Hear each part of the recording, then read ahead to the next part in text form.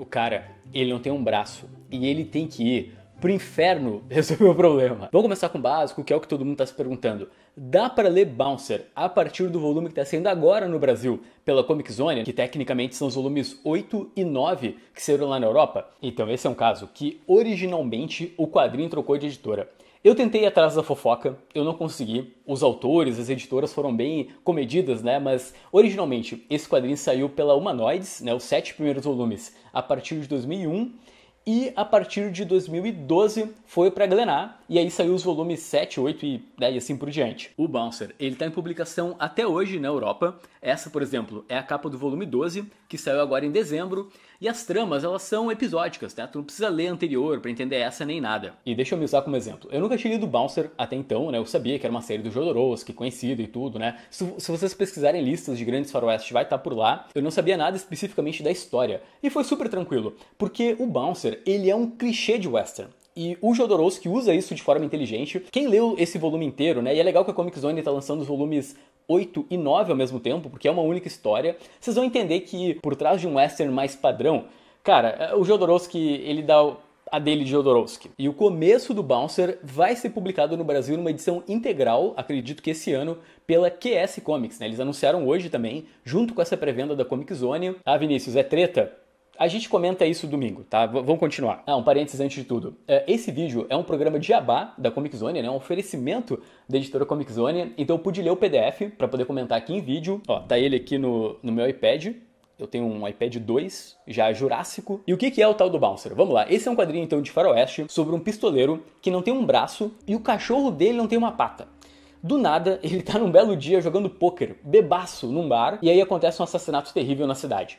Mas é, é, um assassinato, gente, é nível Jodorowsky. É, é algo assim impensável, é, é, de dar raiva no leitor, assim, logo de começo. O grande problema aqui é que o assassino, ele é uma autoridade. Ele estava junto com uma delegação vindo buscar um prisioneiro, né? Ele, ele acabou levando o prisioneiro, mas nesse meio tempo ele resolveu cometer um, um, assassinato. E esse cara, ele também é filho do dono da prisão que ele está levando, que é uma prisão chamada Deep End.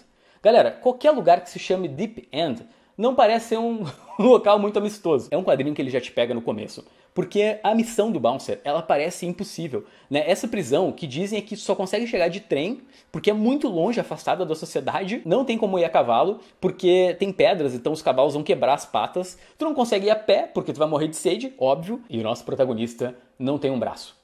É, cara, tem umas partes, você pode ver na capa do quadrinho, ele tá segurando o laço do cavalo com a boca e atirando com a outra mão. Então tu fica numa aflição terrível. E vocês sabiam que esse quadrinho, ele originalmente nos Estados Unidos, foi publicado pela DC Comics. Sim, o que a editora do Batman tem a ver com Jodorowsky? Né? É, entre 2004 e 2005, a DC tinha uma parceria com a editora Humanoids, e eles chegaram a publicar até em Cal, né? Então é, aqui vocês têm a capa da edição da DC, né? Tem ali o logo da Humanoids, né? E, e do lado DC Comics. O problema todo é que foi um, foi um erro por parte da DC, porque ela não soube ler o mercado.